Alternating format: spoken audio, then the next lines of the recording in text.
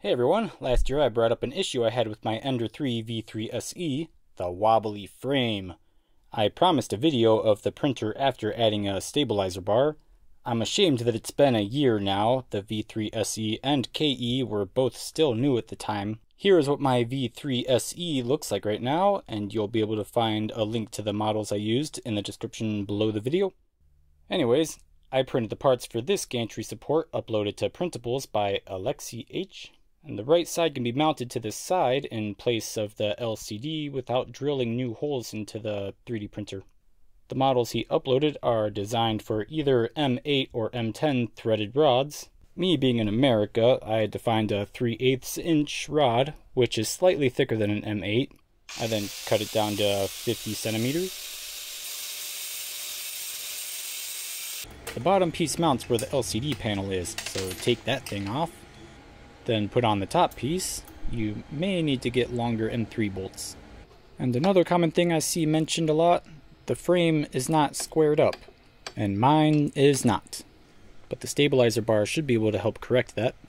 So here is a page from the manual showing the 8 M3 mounting bolt locations. Now let's add the threaded rod and the four nuts, numbering them 1, 2, 3, 4. So first you're going to want to install the bottom mounting bolts, kind of snug but not tightened. Then get the two bolts that hold the Z-rod bracket snug, enough to keep the frame aligned. Next, lightly adjust the top nuts 1 and 2 to keep the rod in place. Then use nuts 3 and 4 to get the vertical frame squared up and tighten those things.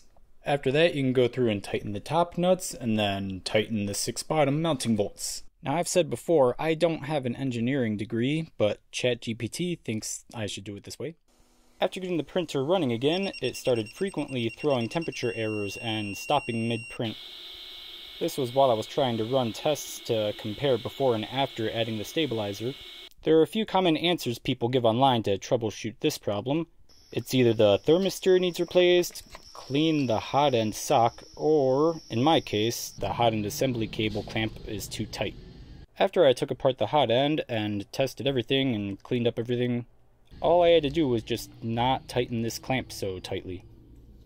So after all that, does it print any better? It's been so long now, I don't really have definitive before and after results. But I can say I feel it printing better at high speeds. I just, I believe it. I want to believe it.